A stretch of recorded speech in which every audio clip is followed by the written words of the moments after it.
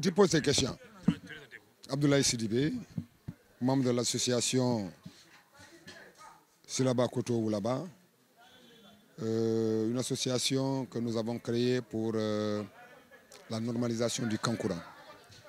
Parce que nous avons compris que le Kankourang aujourd'hui a été un peu banalisé, sinon trop, au niveau des Ziguinchor, un peu partout. Avec le Kankourang, on entend des choses qui ne nous honorent pas.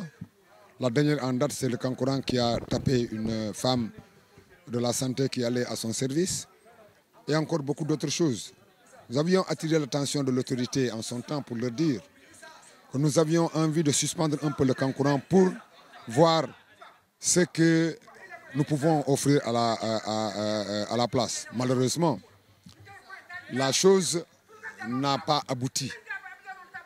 Et aujourd'hui, nous avons décidé, parce que quand vous supprimez quelque chose, quand vous suspendez quelque chose, il faut proposer quelque chose à la place.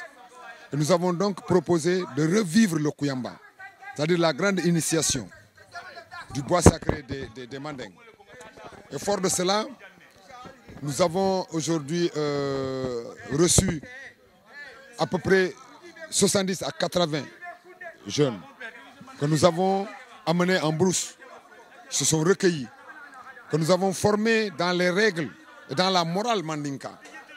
Nous sommes revenus avec eux aujourd'hui, c'est la sortie, et demain ce sera la grande danse des initiés. Mais parlant de ce concourant qui aujourd'hui fait couler beaucoup d'encre, je veux dire que c'est mal connaître cet être mystique. Même si on le dit patrimoine de l'UNESCO. Je pense que ceux qui l'ont mis patrimoine de l'UNESCO doivent en expliquer l'essence profonde. Il ne s'agit pas surtout de dire que c'est un être mystique qui protège les initiés. Non, le Kankuran dépasse ce cadre-là. Le Kankuran va au-delà de la protection de l'initié. Le Kankuran est le régulateur de la société en milieu mandingue. Le Kankuran est le protecteur des initiés. Mais le Kankuran est aussi celui-là qui fait le gendarme dans nos villages, qui règle les conflits. Le, le, c'est le protecteur de la nature.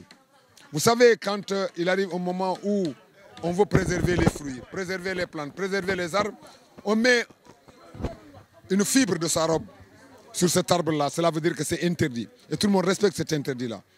Quand on veut préserver une zone de pêche, on y accroche la fibre du kankuran.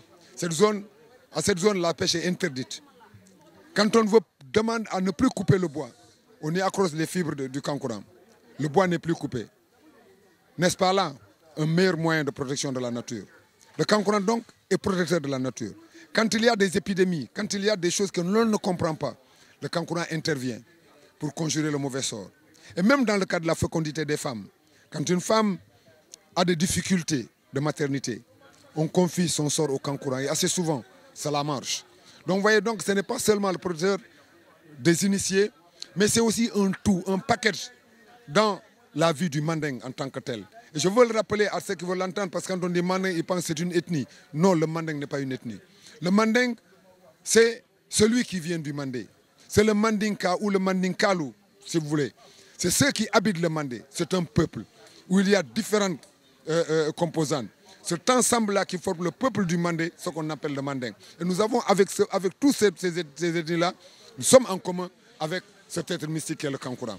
Aujourd'hui, bafoué, traîné un peu partout, nous pensons qu'il est de notre devoir de tirer sur la sonnette d'alarme.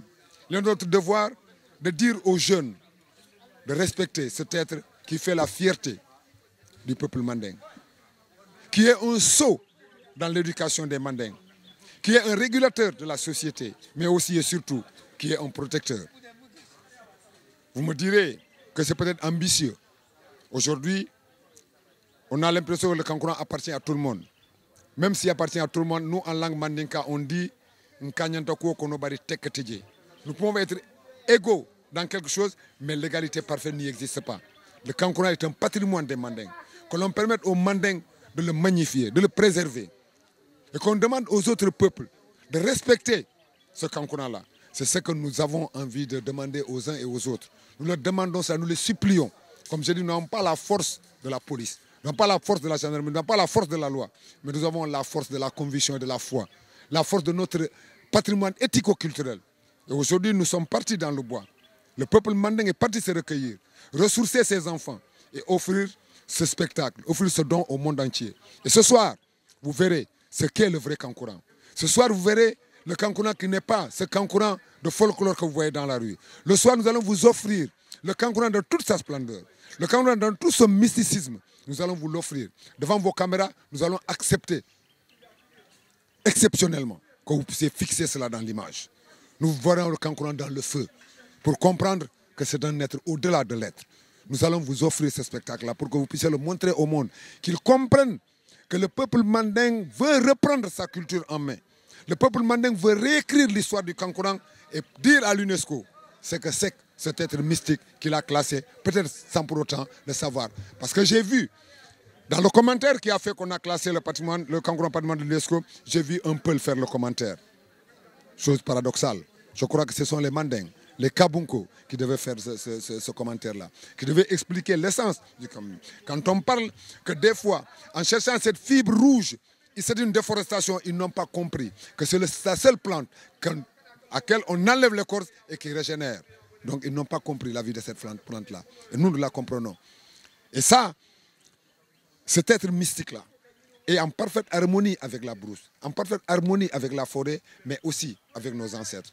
Voilà en un mot, cerner ce qui est pour nous le Kankuran, ce que nous tentons de sauver aujourd'hui, et encore en plus, donner à nos enfants cette éducation qui aujourd'hui semble s'effriter à cause des courants extérieurs qui l'agressent.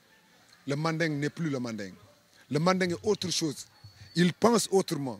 Il ne pense plus dans sa propre tradition, mais il pense dans la tradition de l'autre. Et c'est ce qui est dangereux. Un peuple sans mémoire est un peuple qui s'éteint. Nous ne voulons pas que notre peuple s'éteigne. Voilà pourquoi nous voulons raviver ta mémoire du peuple manding à travers le Kankuran, pour que demain les générations futures puissent savoir ce qu'ils sont, où ils vont et ce qu'ils doivent faire. Parce qu'on ne peut aller quelque part quand on ne sait pas d'où l'on vient. Le présent est engendré par le passé et ce présent engendrera l'avenir. Nous voulons que cet avenir-là soit l'avenir de nos enfants.